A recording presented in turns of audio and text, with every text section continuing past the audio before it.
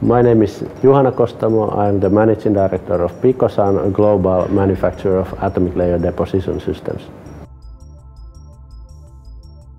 As ALD is a general method, most of our customers are international and most of the applications are not in Finland.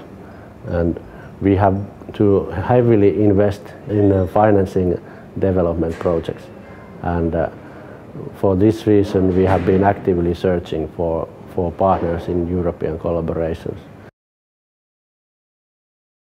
We have uh, been participating in three different projects. Uh, for example, Coral project, which enables better sealing surfaces for corrosion protection via ALD.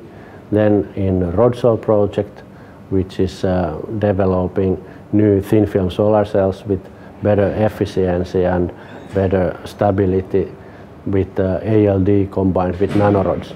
And then in a project called Polycat, where we develop more efficient catalysts for fine chemical synthesis with ALD and nanopowders. Well, we have benefited hugely from these European projects. We have found new partners, we have found new solutions, and we have let them know to the European industry. Most likely we would have not been able to set up the same level of scientific research without these projects. So our time to market has also been shorter for the products that we have developed in these projects. Take care of your own IP rights and remember that you're the only one that is responsible for your own tasks in the project.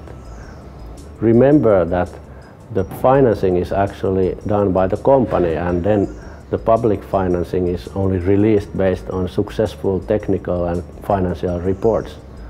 And if you're an SME, don't try to coordinate the project. It's a lot of work.